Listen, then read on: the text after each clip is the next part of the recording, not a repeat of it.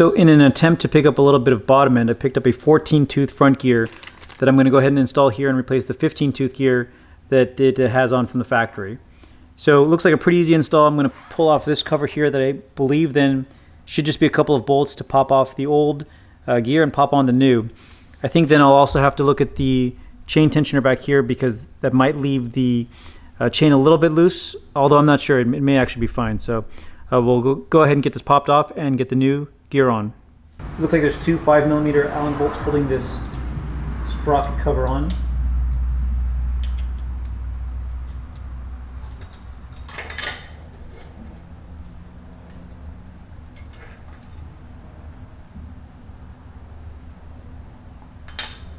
So there's a metal piece that um, goes in between this aluminum cover, has little pegs that it sits on. I'm not sure what its function is, but be mindful that that goes there because it just kind of fell out as I took the as I took this cover off.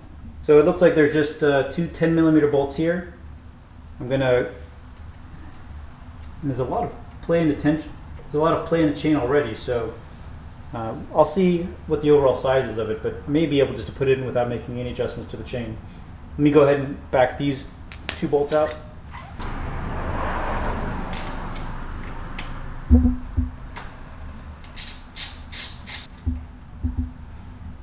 Then this little piece here is keyed to only come off at a certain angle. And then this should just slide right off.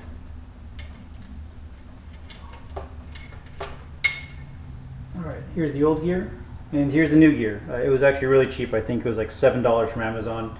It also came with uh, bolts and a new key. I'm going to see if I can't reuse the Honda ones though, just because I'd expect that uh, the small Honda parts are probably slightly higher, higher quality than uh, than this is, but just make sure that this fits. Looks good as far as comparison to the old chain. Yeah, the overall diameter is slightly smaller. Uh, we'll get it on and see if it warrants trying to tighten the chain a bit if it's uh, too loose with this new one on.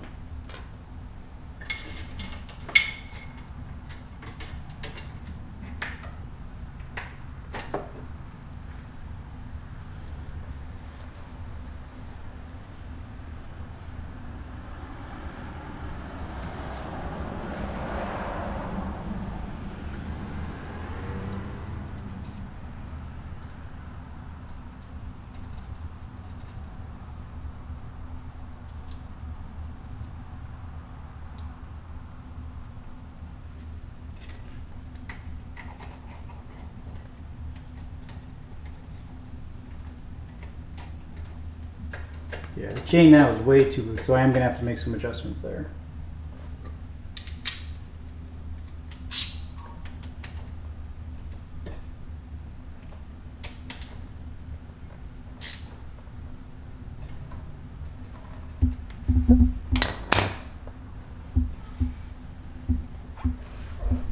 And again, make sure that you've got this metal bracket installed as well.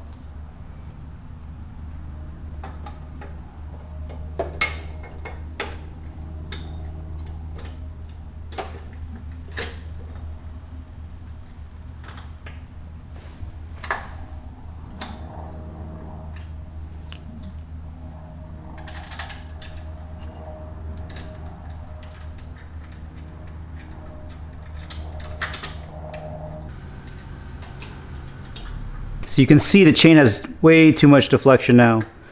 So I'm going to,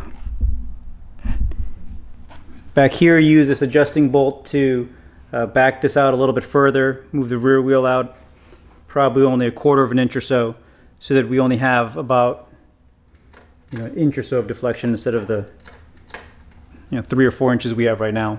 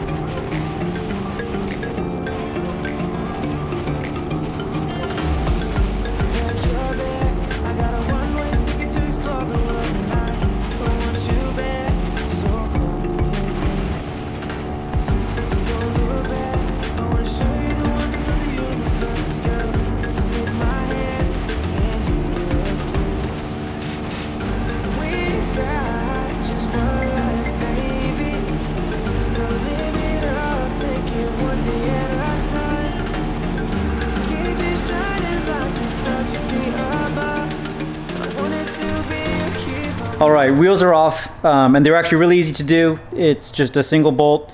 It's a 14 millimeter um, bolt on one side and a 19 millimeter on the other.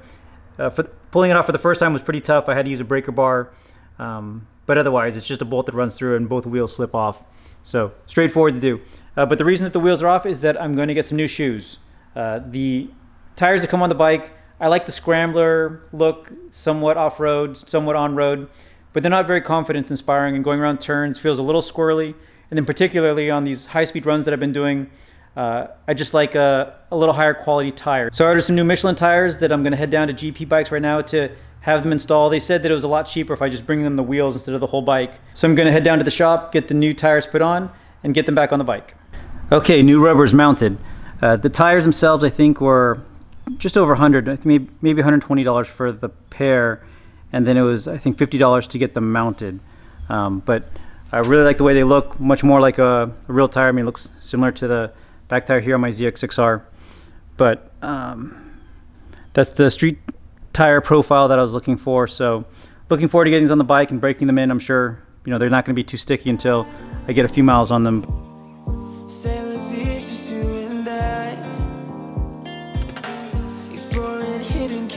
Surfing waves into the night on the beaches of Hawaii. Drinks in Ibiza, anywhere you wanna go, baby, you just let me know. Sunny Indonesia, don't say no. Sipping on tequila, anything you wanna see, be there in a heartbeat. Just say the words and we can go. We've got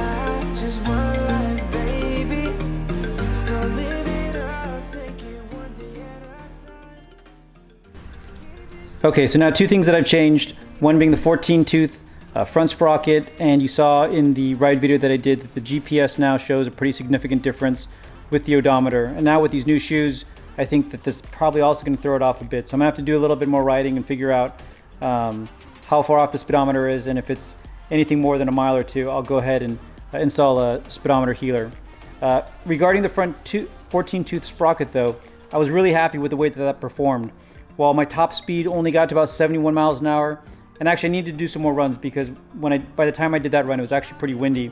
But it got up to 71 miles an hour much quicker than it did uh, with the 15 tooth front sprocket. And while I was able to get all the way up to 76 miles an hour with the 15 tooth, it seemed much more rideable with the 14 tooth. So I'm going to do some more experimenting. I could potentially change some of the rear sprockets if I could change the rear sprocket potentially if I wanted to really fine tune that. But I really like the way that it felt with that 14 tooth. So I'm going to do some riding with these tires and sprockets, see where I am with the gearing and the, how it relates to my speedometer readout against the GPS, and then figure out where to go from there.